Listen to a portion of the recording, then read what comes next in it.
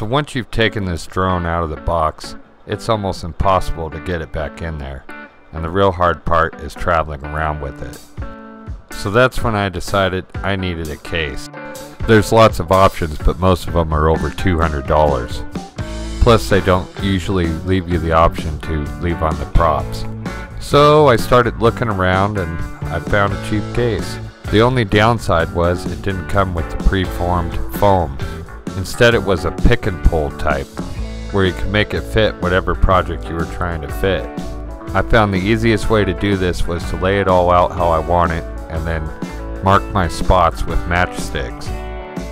This foam is real easy to work with, but for the spots where I had troubles, I just went in with a pocket knife.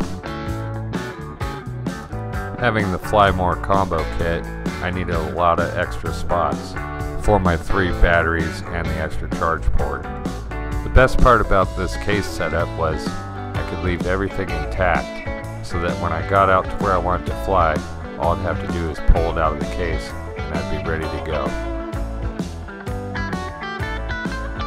The other good part about this case is I could leave the props on and not have to mess with those every time.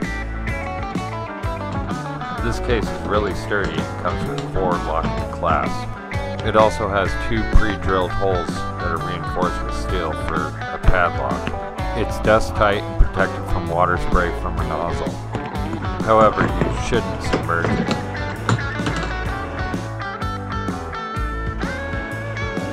So this thing is watertight, dust proof, and impact resistant. Comes with an air relief valve.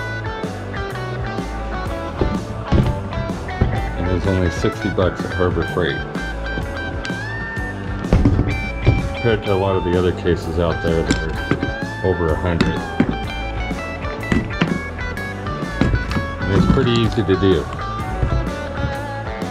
So I was able to fit everything in, my batteries, my controller, my cords, my Allen wrench down here, Fly More combo charger, extra props, strap stays on the goggles,